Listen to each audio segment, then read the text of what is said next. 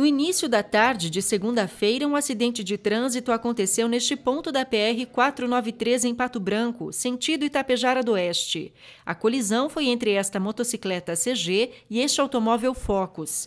O homem que pilotava a motocicleta sofreu ferimentos na queda. Ele foi socorrido pelo SAMU e encaminhado à unidade de pronto atendimento em Pato Branco. A condutora do automóvel não se feriu.